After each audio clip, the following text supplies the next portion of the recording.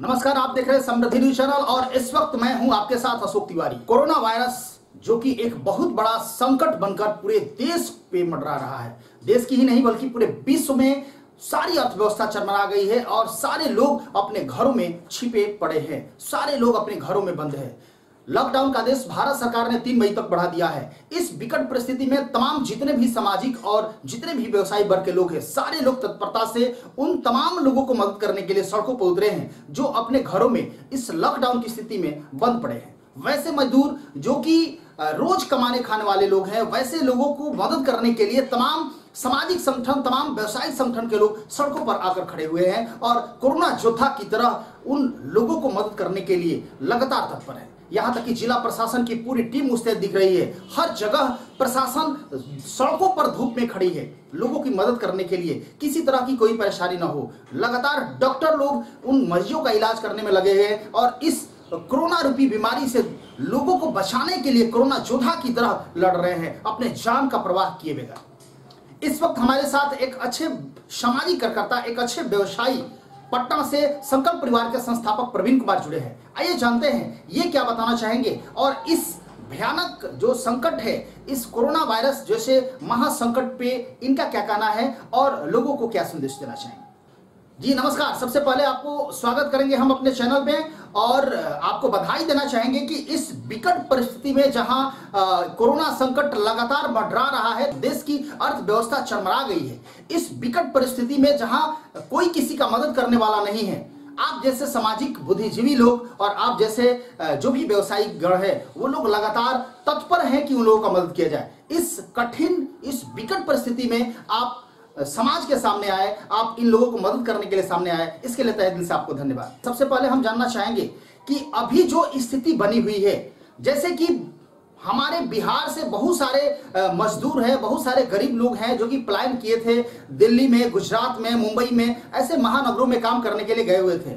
लेकिन अभी जो कोरोना का संकट बना हुआ है इस कोरोना का संकट में वहाँ की सरकार द्वारा क्या देखा किया गया? किस आ, किस तरह उन लोगों की देखरेख नहीं की गई? वो लोग भूख से तड़प रहे थे और वो लोग पैदल ही भूख के चलते पैदल ही बिहार वापस आ गए। इस विकट परिस्थिति में हमें नहीं लगता है कि वो लोग बिहार से फिर वहाँ जाने का नाम लेंगे।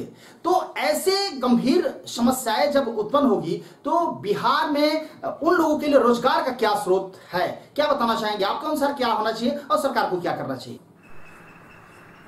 नमस्कार। सर्वप्रथम मैं आपके चैनल के माध्यम से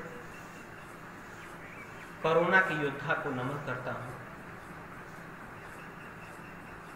जो इस जंग में आम जन की सेवा में अपना महत्वपूर्ण योगदान दे रहे हैं। इस कोरोना रूपी महामारी से पूरा विश्व जंग लड़ रहा है। अपना देश भी उसमें शामिल है। हमारे प्रदेश के वैसे लोग को मुश्किलों से ज़्यादा सामना करना पड़ रहा है। जो अपने प्रदेश के साथ साथ अन्य प्रदेशों में जाकर रोज़गार करते थे, अपने जीव को पार्जन चलाते थे,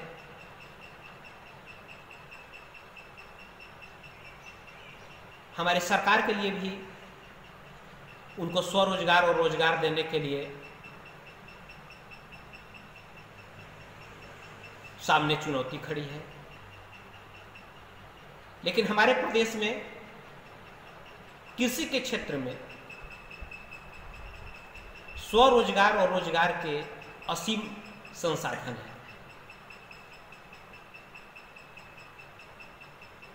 हमारे उत्पादन, प्रसंस्करण और विपणन के क्षेत्र में बहुत से लोगों को स्वरोजगार रोज़गार दिया जा सकता है। जी जी बिल्कुल। लेकिन आप भी किसानों को अपना ऊर्जा स्रोत मानते हैं। इस विकट परिस्थिति में किसान की यह स्थिति है तो आप किसानों के बारे में क्या सोचे?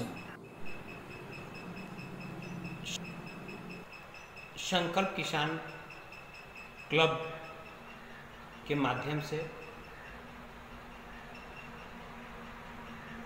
जरूरतमंद लोगों तक खाद्य सामग्री, पेयजल एवं मास्क का निशुल्क वितरण का कार्य किया जा रहा है। उसमें हमारे सभी सदस्य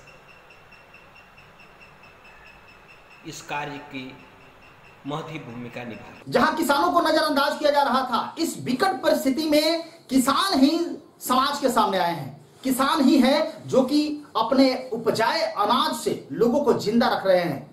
इस विकट परिस्थिति में सरकार को किसानों पर ध्यान देना चाहिए। आप क्या कहना चाहिए जब जब हमारे देश पे संकट के बादल छाए हैं, उससे उबरने हेतु हमारे किसान भाइयों की भूमिका अति महत्वपूर्ण हो जाती है। हमें गर्व है अपने अन्नदाता किसान पर कि भरी बरसात में और कड़ी दोपहरी में भी हमारे देशवासियों के लिए अन्न का उपार्जन करते हैं। हमारे सरकार से भी आग्रह है कि जैसे संकट के घड़े में हमारे किसान भाई खड़ा रहते हैं, वैसे ही देश के किसानों को सुने और उन्हें पहली पंक्ति में खड़ा किया जाए।